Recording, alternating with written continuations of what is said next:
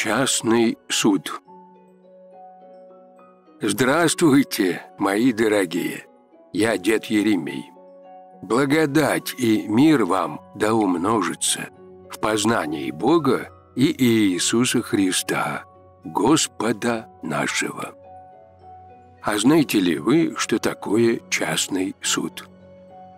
Частный суд – это суд Божий над душой человека, совершаемый после его смерти, предваряющий окончательное определение его участи на страшном суде.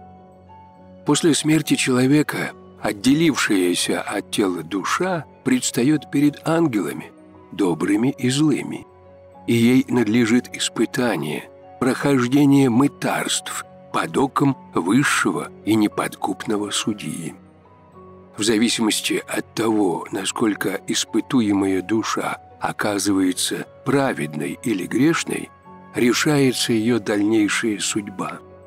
В отличие от будущего страшного суда, частный суд совершается относительно души, а не относительно цельного человека.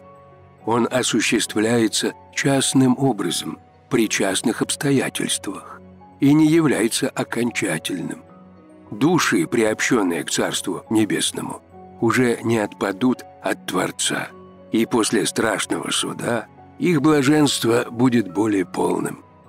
Что же касается грешников, их участь может быть улучшена по молитвам Церкви. На страшном суде, милостью Божией, они могут быть причислены к Царству Святых. Вот так вот, дорогие мои. И помните – Мир освещается солнцем, а человек – знанием. Да храни вас Бог.